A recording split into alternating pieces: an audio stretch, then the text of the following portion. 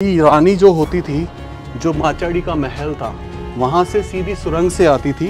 ये उस समय का मंदिर हुआ करता था। और उस समय देखो मूर्तियाँ कैसे हुआ करती थी। ये शिवलिंग बीच में। ये थी सुरंग और ये जो है ब्लॉक कर दी गई है रोक दी गई है। ये पत्थर था मतलब नहाने के लिए। अच्छा वो गिरा दिया गया नीचे। राम राम सा सभी को खम्बा गणिसा राजस्थान मेरा देश मेरा भारत। तो दोस्तों, आपने कुएँ तो बहुत सारे देखे होंगे, पर मेरा विश्वास करना, ये जो कुएँ का रास्ता है ना, जो मैं दिखाने वाला हूँ आपको, ऐसा कुआ मैंने अपनी लाइफ में नहीं देखा। और इसकी जो रोमांचक कहानी है ना, वो आपको और भी रोमांच कर देगी। तो चलिए इसको बोलते हैं रानी का कुआ। ये गाँव है माचाड़ी, अलवर से ये 50 किलोमीटर की डिस्टेंस पर है। तो आ जाइए आप। तो सबसे पहले जब हम शुरुआत करते हैं इस जगह की तो इस जगह का जो दरवाज़ा है, उसकी ऊंचाई अगर आप देखोगे तो एग्जैक्टली छः फिट है। यानी कि आप आसानी से जा सकते हैं, आ सकते हैं, लेकिन जो नीचे की सतह देखोगे आप, ये मिट्टी इतनी ऊपर उठ आई है कि अब जो इसकी हाइट है, आपको छः फीट से ज़्यादा नज़र नहीं आएगी। नहीं, पहले ज़माने में कम से कम आठ से दस फीट बनते थे। ये साइड में जो आला है, इसमें उजाले के लिए, रोशनी के लिए लालटेन वगैरह रखी जाती थी उस समय। तो उस समय के लिए हिसाब से ये हमेशा आप जब भी देखोगे पुरानी चीज़ों में तो ऐसे आले होते थे। तो अब मेरे साथ आ जाइए आप अंदर और बी केयरफुल अगर कभी आप आओ तो यहाँ पे बहुत ही मतलब इसका रख रखाव बहुत कम है। और ये जो जगह ऐसे झरोके जो आप देख रहे हो, आप इस तरीके से पहली मंजिल पर, उधर से देखो, उधर वहाँ पे सीढ़ियाँ उतर रही हैं, जो कि बहुत ही डेंजर सीढ़ियाँ हैं, और इधर भी यहाँ पे भी सीढ़ियाँ उतर रही हैं। तो वो, ये सीढ़ियाँ बहुत ही डेंजरस हैं, और वो काफ़ी आपको ध्यान से जाना है। तो आप इधर से आइए, ऐसे झरोके आपको तीन झरोके देखने मिलेंगे पहली मंजिल पर अब कहानी क्या है? कहानी मैं आपको बताता हूँ। कहानी ये है कि रानी जो होती थी, जो माचाड़ी का महल था, वहाँ से सीधी सुरंग से आती थी। सुरंग से सीधी इस कुएँ में आती थी नहाने। अब ऐसा क्यों बनाया गया?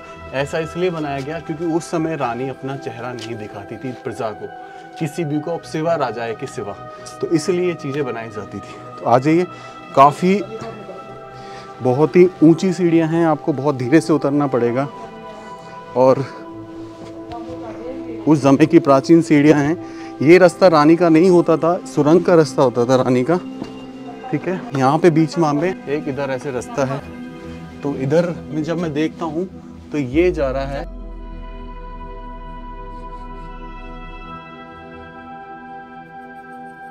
बहुत ही प्राचीन मंदिर उस समय का।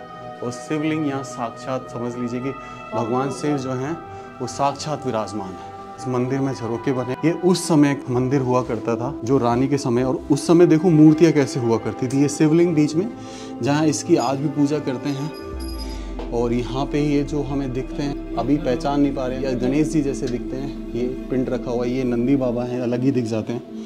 इसी के साथ में एक और शिव जी हैं वहाँ पर। उसकी कहानी, इनकी कहानी ये है कि आज आपको देखने से ही लग रहा होगा कि ये आज के नहीं हैं, बहुत पुराने हैं। और ये देखिए किस तरीके से बना हुआ है। बकायदा बिजली आती है इसके अंदर। चलिए अब बाहर की तरफ़ चलते हैं। तो मंदिर से बाहर निकल रहे हैं अब अब धीरे धीरे ये गाँव वाले, यहाँ के रहने वाले। अब ये इधर देखो, ये सीढ़ियाँ नीचे जा रही हैं। फिर यहाँ पे एक कमरा है ये। और यहाँ से एक छोटा सा कमरा। तो ये छोटा सा कमरा है जो आप देखोगे कि उस समय की प्राचीन पत्थरों से बना हुआ है।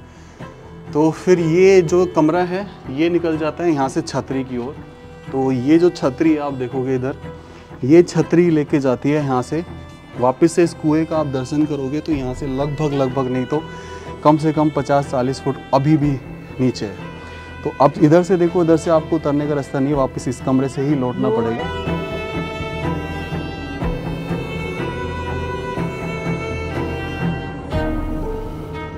बहुत ही मतलब रेयर जगह है और इन लोगों का साथ है, इसलिए मैं इतनी हिम्मत दिखा रहा हूँ। आप देखो वापस से यहाँ पे ये कमरे स्टार्ट हो जाते हैं इस तरीके से। तो अपन इधर यहाँ पे चलेंगे झरोके जो हैं, इस जगह बने हुए हैं टोटल बारह झरोके। ये जो झरोके आप देख रहे हो टोटल इस तरीके के ही बारह झरोके हैं टोटल गिन सकते हो।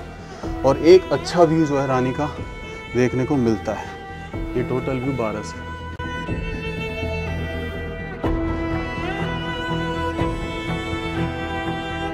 अब अपन बढ़ते हैं सीधा उस सुरंग की तरफ़ जहाँ से रानी जी आती थी और जाती थी।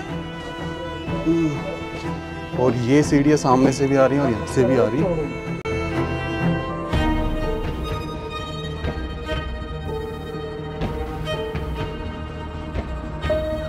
ये यहाँ पे एंड हो जाता है भैया हैं? सीढ़ियाँ हैं। अच्छा अच्छा। तो देखो अच्छा अच्छा अच्छा। वहाँ दिन पत्थर था मतलब नहाने के लिए। अच्छा तो अच्छा। वो गिरा दिया गया नीचे हम्म। तो वो जगह खाली होगी ना वहाँ से गिर गया वो। तो ये इतना मतलब भरा रहता था? ये आप मतलब कह रहे हो कि 2010 तक यहाँ पानी था? हाँ यहाँ तक पानी था खूब। खूब। हाँ। हाँ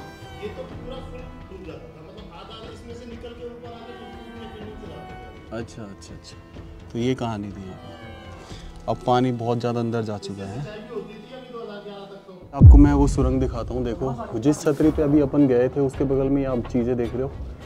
ये जगह जो है, ये थी सुरंग, और ये जो है ब्लॉक कर दी गई है, रोक दी गई है, क्योंकि कोई मिस हैपनिंग ना हो उसके कारण।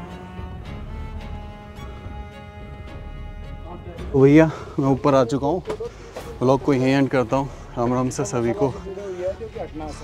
अम्मा घनी से राजस्थान, मेरा देश, मेरा भारत।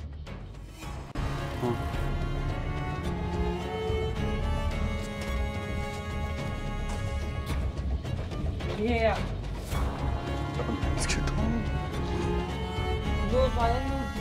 你。